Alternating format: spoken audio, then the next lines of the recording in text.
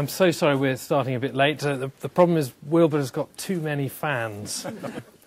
uh, and, and that has been reflected in his book sales, which now are something in the region of 100 million copies. Um, he won't tell me exactly how many, but maybe he'll tell you. So you, you had this extraordinary life where, where your mother was uh, encouraging you to read and your father was encouraging you to get outdoors and, and be a man of action. Yes, when you say our, our house was full of books, that's not true because mom had to hide her books, which she and I enjoyed. But my old man believed that anything that didn't involve uh, ploughing land or cutting down trees or building bridges over rivers or erecting uh, other buildings, he looked upon that as a waste of time. And um, so he, he didn't encourage my reading at all.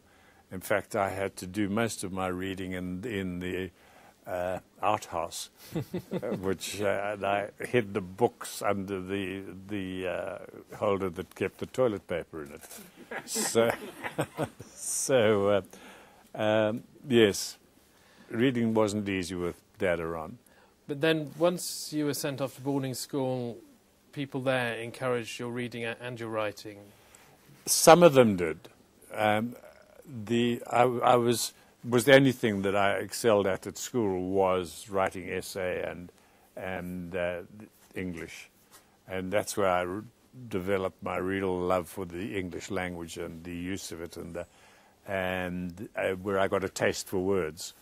And where did you go to school? Remind me. I, I went to school in uh, first of all in a place called Cordwalles, which involved a four-day train journey from the ranch to get there and back again and then I ended up at uh, Rhodes University.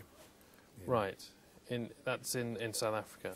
In South Africa, near Grahamstown, uh, close to the coast. So that, after the and, and so far as I recall, the sort of boarding school experiences were pretty gruesome, as they uh, often were in that period. They were, yes, a lot of cold showers, terrible food, and um, and the cane. The cane was constantly with us and um, I, some of our masters were really good with the cane. They used to chalk it so that the first stripe on your bottom left a line, which was their aiming point, and they they uh, they were very proud if they could lay the, the shots all on top of each other, so you had a very nice bruise by the time they'd finished. But uh, yes, I remember when, when I told Dad, broke the news to him that I was going to be a journalist, he just looked at me and said, Don't be a bloody fool, you'll starve to death.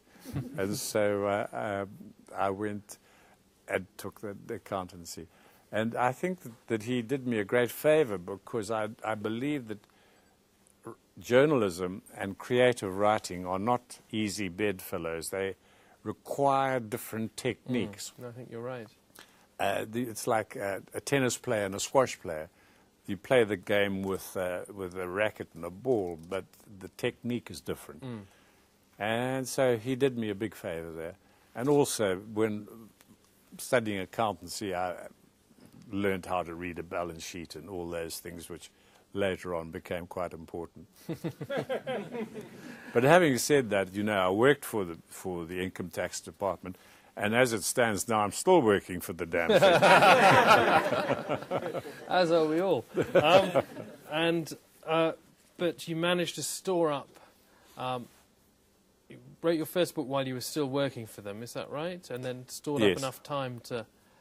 Yes, to I, I always say I wrote my first book on Her Majesty's stationery and mm. on Her Majesty's time because I I used to have a little office of, of my own and uh, there was no lock on the door, but I had to put a chair there and, um, and then get on with the serious business of writing the book.